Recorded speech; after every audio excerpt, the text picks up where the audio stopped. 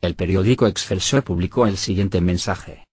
La Procuraduría General de la República, PGR, a través de la Subprocuraduría Especializada en Investigación de Delincuencia Organizada, SEIDO, obtuvo un nuevo auto de formal prisión contra Vicente Carrillo Fuentes, alias El Viceroy, por el delito de delincuencia organizada.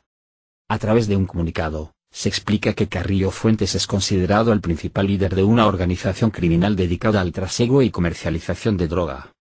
Un juez federal consideró que hay los elementos suficientes para dictar dicha medida por los delitos de delincuencia organizada. Cabe mencionar que Carrillo Fuentes fue detenido el 9 de octubre de 2014, en Torreón, Coahuila, y se encuentra recluido en el penal de Puente Grande, en Jalisco.